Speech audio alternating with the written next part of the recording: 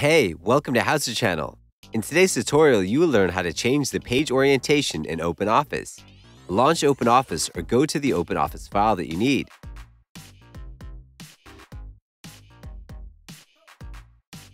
Click on Format at the top menu bar. Choose Page from the list. A new window will open. Go to Orientation.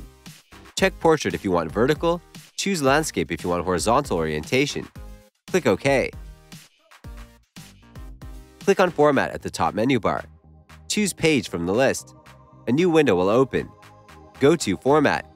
Click on the dropout list and choose the format that you need. Click OK. That's it. Thanks for watching the video. Please like it and let us know if you used any of our tips and tricks. Subscribe to our channel. We upload new tutorials every day. See ya!